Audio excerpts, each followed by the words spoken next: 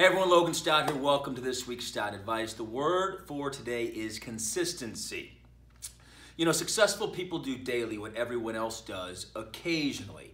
And I know for me, with the new book coming out, The 15 Irrefutable Attributes of Grit, and going from wanting to conquering, one of those is consistency, right? Those that truly uh, make changes in their lives that last and that make a difference, not only for them, but for those that are counting on them. They understand it takes consistent effort, doing the right things repeatedly over an extended period of time with excellence, right?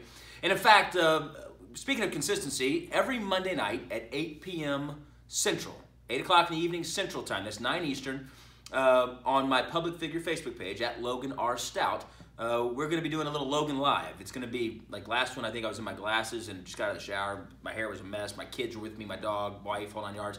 But we're going to have a little something, a, a word of the a week, a topic, you name it. And so make sure you join us every Monday. Put it in your calendar, 8 p.m. Be consistent.